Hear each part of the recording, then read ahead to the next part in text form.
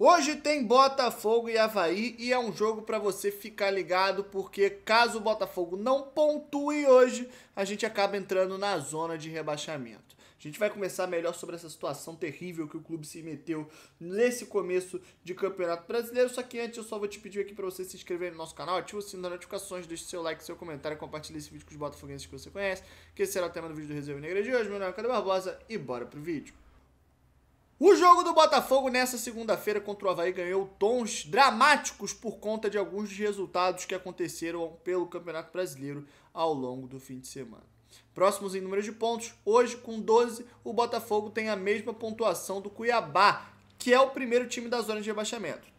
Em caso de derrota, o Alvinegro entrará na zona, sendo ultrapassado pelo próprio Havaí, que é o seu adversário, e hoje soma 10 pontos e está na 18ª colocação, logo abaixo do Cuiabá. Então o Havaí que tem 10, se ele vencer, ele soma 3, vai a 13, e com 13 ele não só ultrapassa o Cuiabá, como também ultrapassa o Botafogo e ultrapassa até o Flamengo, que é o, o time que está empatado em pontos com a gente, mas está na nossa frente por enquanto.